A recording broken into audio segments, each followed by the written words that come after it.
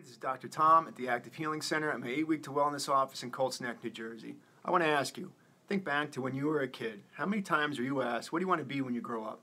I have an eight year old boy, and it seems he gets asked this question an awful lot. And it is always fun to hear his response. So I'm going to ask you What do you want to be when you grow up? Do you want to be a burden or a blessing?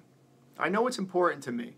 Not only how my body's functioning today, but a year from now, five years, even 20 years down the road, because I never want to be a burden as I get older to myself, to my child, or to my family. I always want to be a blessing. The very decisions that you're making today about your lifestyle are you exercising? What are you eating and drinking?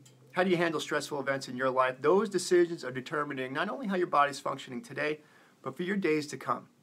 I want to invite you out to our office for our eight week to wellness orientation. We do these at least twice a month in our office. And this is where I get to go over the what's, why's, and how's of our eight week to wellness lifestyle modification program and how it'll change your life. Give us a call today to find out the dates and times for upcoming events. Give us eight weeks, and we will change the rest of your life.